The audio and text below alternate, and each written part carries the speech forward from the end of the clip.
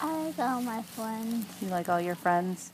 My name is Christy Knapp, and I know Alexa because I'm her mom. Alexa has a syndrome known as Dravet syndrome. Dravet syndrome is some of the characteristics are the treatment resistant seizures, cognitive impairment. So Alexa has developed to about the age of four to five, and she probably won't progress much more than that. But emotionally and socially she likes she is 16 so in some ways she behaves very much like a teenager she was never able to keep up with kids when it came to sports and athletics although she loves to do that kind of stuff now that has all changed moving into this year this year's just there's been a lot of things that have sort of happened. She was invited to participate with the JV Pom Girls um, earlier this summer. The coach has been amazing um, in that she's trying to teach her girls about looking outside themselves and recognizing that